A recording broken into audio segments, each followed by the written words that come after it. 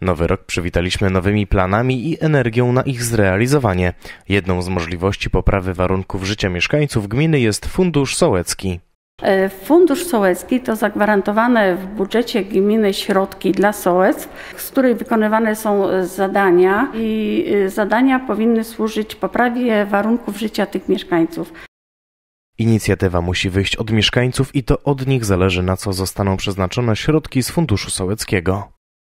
Mieszkańcy są e, po prostu e, osobami decyzyjnymi w tym przypadku, co będzie robione e, w przyszłym roku, bo zawsze Fundusz Sołecki, decyzje o Funduszu Sołeckim podejmowane są w roku poprzedzającym rok budżetowy, więc wnioski powinny zostać złożone, tak jak mówiłam, do 30 września. Jedną z wielu inwestycji zrealizowanych w ramach Funduszu Sołeckiego jest zainstalowanie lamp na ulicy Dobrodzieńskiej w Rędzinie.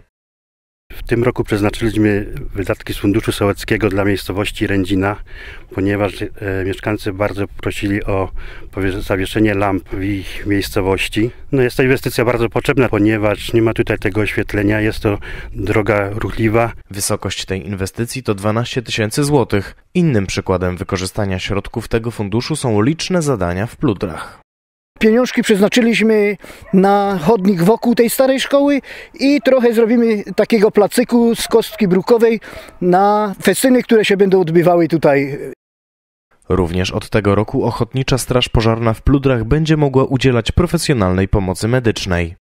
E, W ubiegłym roku powstała jednostka Ochotniczej Straży Pożarnej i ta straża proponowała, żeby torbę medyczną, taką profesjonalną, żeby można pomagać tym wszystkim ludziom. Najbliższe miesiące będą obfite w różne inwestycje możliwe dzięki Funduszowi Sołeckiemu. Trzymamy kciuki za realizację każdej z nich, bo jak mówi sołtys Pluder, To jest najlepsza rzecz, jaka nam się mogła przydarzyć tutaj sołtysom. I nie sądzę, że któryś sołtys powie w województwie opolskim, że jest inaczej,